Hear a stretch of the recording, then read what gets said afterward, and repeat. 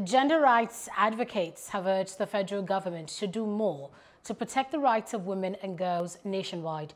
They say cases of rape and gender-based violence have continued to rise due to the COVID-19 pandemic.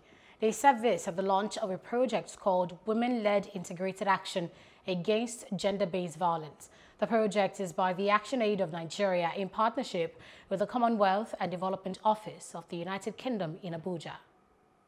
COVID-19 pandemic has further heightened incidents of violence on women and girls as it introduced a new dimension to violence.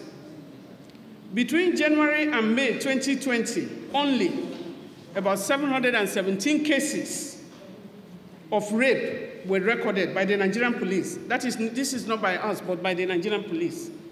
As we all know, women and girls make up 50% of the population, but they are so marginalised from decision making in Nigeria, and that has to change.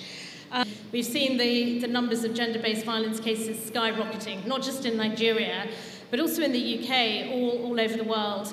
Um, women, girls, and indeed young boys trapped at home during lockdown um, with potential perpetrators has been really horrific.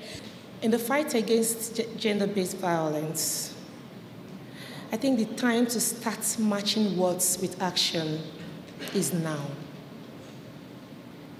The women down there who are going through these pains, they really don't understand the seminars.